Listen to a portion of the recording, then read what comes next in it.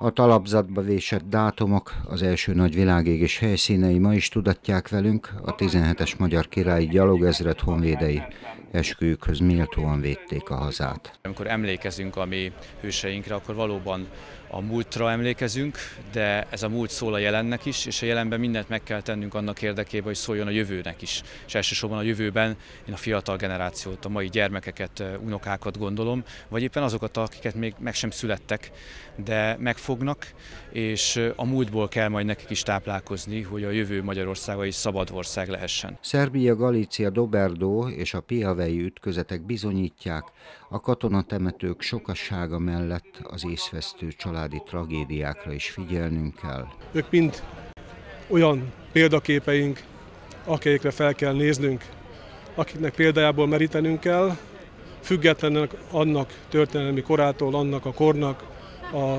történéseitől, üzeneteiről, ideológiájától, mi katonák ebben esetben is azokra emlékezünk, akik hősiesen helytáltak, bátorságból, lojalitásból, a haza iránti szeretetükből, tiszteletükből példát mutattak. Simon László fohász a célba ért. A 17-esek emlékparkja immáron Székesfehérváron is nemzeti kegyhely. Július 18-a az ezred emléknapja. A címet Károly király adományozta az ezrednek a Doberdói csatában nyújtott kiemelkedő helytállásukért.